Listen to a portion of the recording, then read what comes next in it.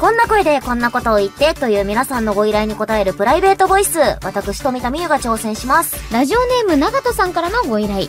車掌さんっぽく。えー、ご乗車ありがとうございます。各駅停車、羽生行きです。次は、お前田に停まります。えー、補足、お前田駅は埼玉県にあります。お前田、前田です。